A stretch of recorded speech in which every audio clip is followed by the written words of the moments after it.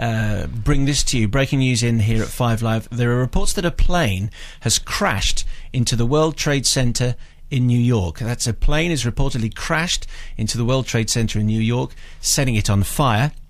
We'll get you reports on that as soon as we can. Pauline, I'm sorry I No, interrupted. that's Please okay. carry on. Um, now, on the line we have um, By a Ashley. huge explosion about two minutes ago. Five Lives.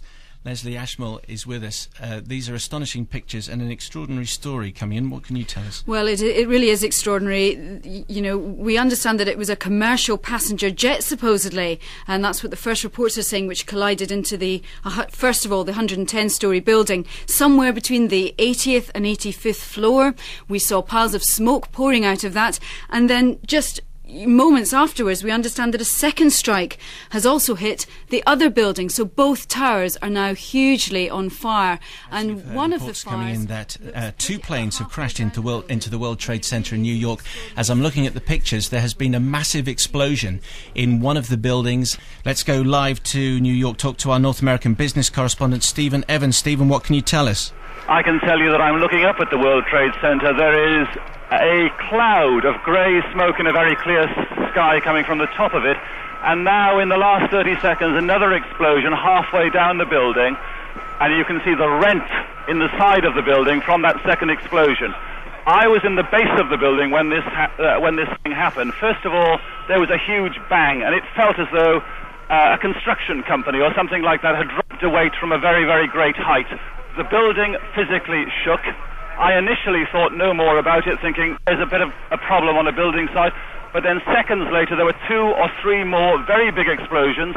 And this building, this huge building, towering into the sky, again, physically shook. And at that point, people came screaming past me, saying, just get out, just get out, just get out. Thank you very much indeed. Obviously, this story uh, is is changing and developing throughout this afternoon. Let's bring you some eyewitness reports and talk to Jane Beresford. Jane, uh, you're live on BBC Radio 5 Live. Can you tell us what you saw, please? I can. I was waiting down on Battery Park ferry station, actually waiting to go across to Ellis Island. And as Steve Evans was saying, there was a huge explosion, which we all thought was construction work. So much construction work going on, and uh, saw clouds of smoke billowing up. And it wasn't until we started to see the flames, probably for about 10 minutes, nobody realised what had happened.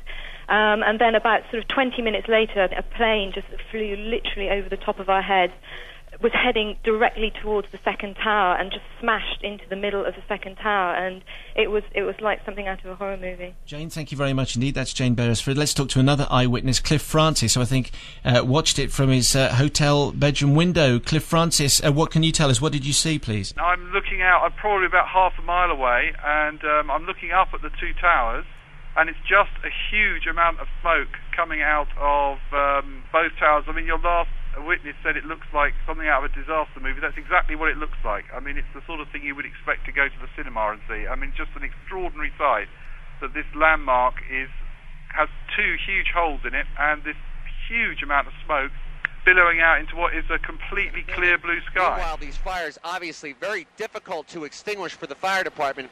I'm not even sure if they can get equipment up that high in the building. This smoke, obviously, on a beautiful clear day in Manhattan, is visible for miles, for miles and miles around. It is also worth noting that, as far as we can tell, the airspace around New York City, as far as commercial traffic goes, that airspace has been shut down. All operations at Newark Two planes International have crashed into John the F. World Kennedy Trade Center. There are Airport, reports of an explosion at the Pentagon. There are also reports of a third plane being hijacked. Five Lives' Leslie Ashmore can uh, tell us more. Leslie, wh- what do we know so far? Well, indeed, and these reports are just coming in, so do bear with us, everyone. I appreciate it's very difficult um, to know exactly what is going on in New York at the moment.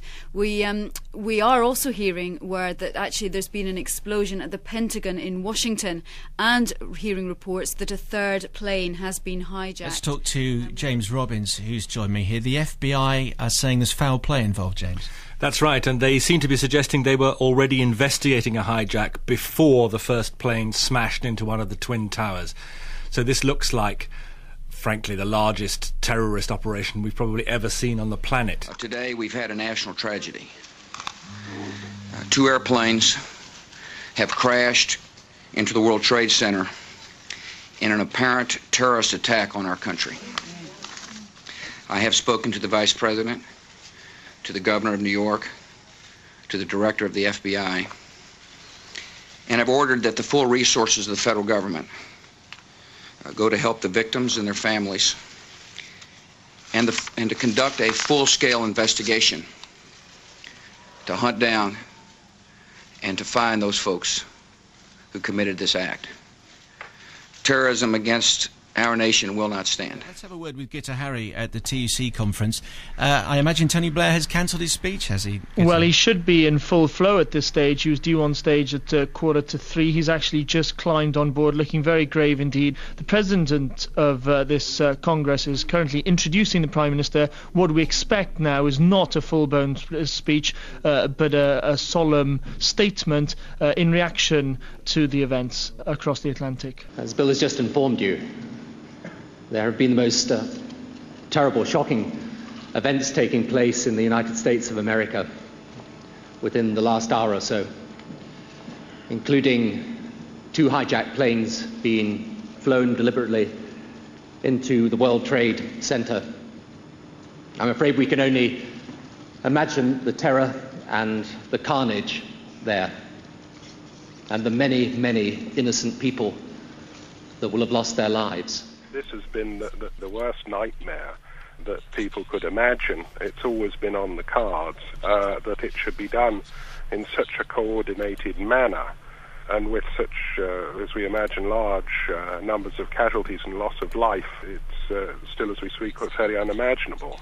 Bruce Jones, thank you very much indeed. As we speak, and as I was listening to what Bruce was telling me, uh, the second tower at the World Trade Center has collapsed. They have both now collapsed. It was about seven minutes to two that we started to look at the first pictures.